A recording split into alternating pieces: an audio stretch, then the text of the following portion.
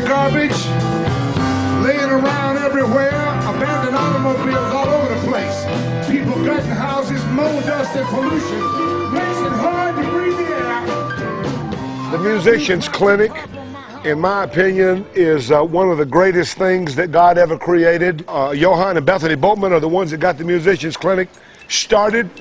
They're the founders, the originators of it. It took many people to actually put this together. And it was unique because there's nothing like it still in the United States. And we started it in 1998. And our goal was to create comprehensive health care to keep our world famous musicians both alive and flourishing in New Orleans, where health care was very third world. Oh, let's boogie now.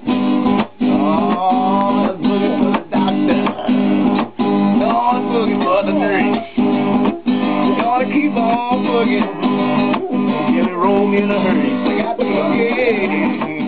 I can't begin to say enough about the Musicians Clinic. It has just helped so many members of the indigenous culture. I can go on and on about all the people that has touched their lives personally that I know of. For instance, my own brother Charles Moe plays bass in the band with me. He had a heart attack on stage at the Jazz Festival a few years ago. And if it were not for the Musicians Clinic and uh, assistance that they provided from with his medical bills, his doctors, and the ambulance service that saved his life, uh, he might not be alive today. A lot of our musicians fall between a rock and a hard place. They're too young for Medicare and Social Security. They're not totally disabled and they can't afford private health insurance. So many of them, uh, they work, you know, from job to job and they don't have very secure jobs. So uh, consequently, their health care needs are not being addressed.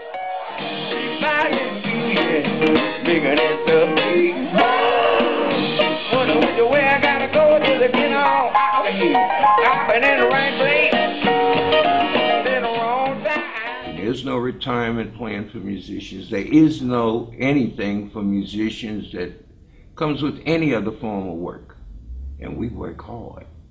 Each part of our culture that we lose is devastating to other parts of our community. Our music is like no other music on the face of the earth. We have a unique musical culture, and guess what? The people who are the standard bearers of our culture, primarily the elder musicians and the uh, artists and people that make up the components of our culture, they need to teach this culture to the young people, the youth culture coming up. And how can they be able to teach these musicians and artists that are coming up?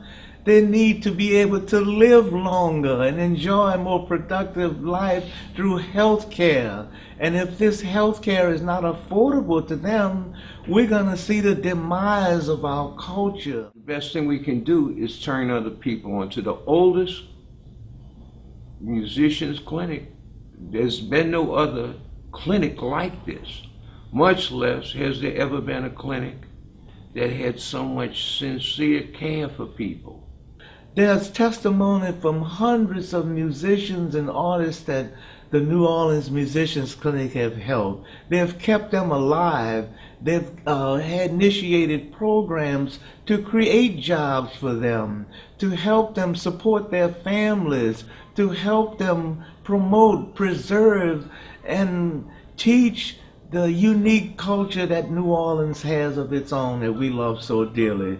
Thank you for your time, and please, please, please do something to help my brothers and sisters in music in this community. Do something that's going to help New Orleans, that's going to help the entire country. It's about caring for people. It's a simple thing when you break it down. And the sincerest form of being real is to be there for people. We are going to support something that is real.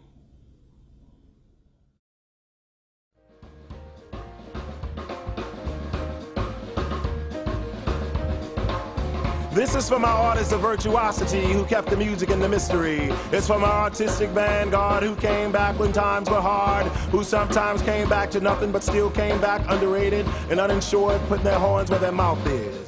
This is for my buck jumping Pied Pipers who gon' second line my people all the way back home. This poem's for you.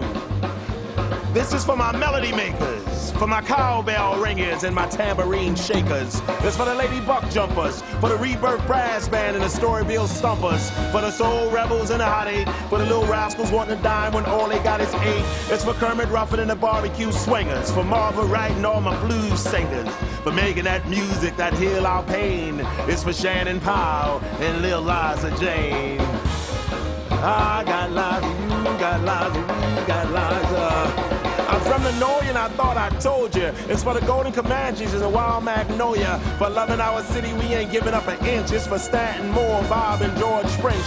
We love her scat and we love her razzle dazzle. It's for Irvin Mayfield and Germaine Bazzle. It's for Dr. Michael White for keeping it tight. And for Arthur Lionel, still raising hell. We sure don't miss him when we die. It's for Troy Sawyer and Kevin O'Day. Kid Chocolate Brown and John Boutté. For Dave Torkanowsky and Walter Wolfman. Trombone Shorty and the whole Andrews clan. And the Marsalis clan and the Batiste clan too. Charmaine Neville, this poem's for you. And don't forget Kidd Jordan the whole Jordan crew. It's for Philip Manuel and Leah Chase. Herlin Riley on drums, Roland Garrett on bass. Holla if you hear me. It's for Corey Henry on trombone, Kirk Joseph on sousaphone, Donald Harrison on sax. I take off my hat to Benny Jones and Leroy Jones and all our musicians who came back home. This poem's for you.